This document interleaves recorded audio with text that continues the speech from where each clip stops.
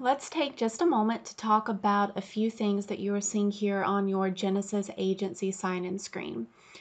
Over to the left is where you put in your user credentials to sign into your Jenesis management system. Here in the middle, you will find several blog posts, some relating to different events that are going on within our company, um, as well as different posts regarding versions that are being released within your management system. If you would like to see more in depth the different updates that are being released in those new versions, you can single click on this link and view those different updates.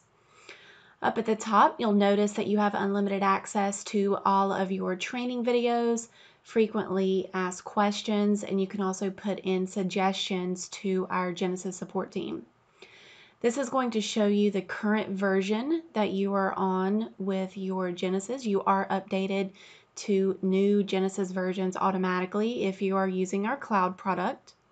You also have unlimited access to our phone support team, so you can call them or live chat with them as many times as you'd like. So this is our Jenesis agency sign-in screen. If you have any questions, give us a call.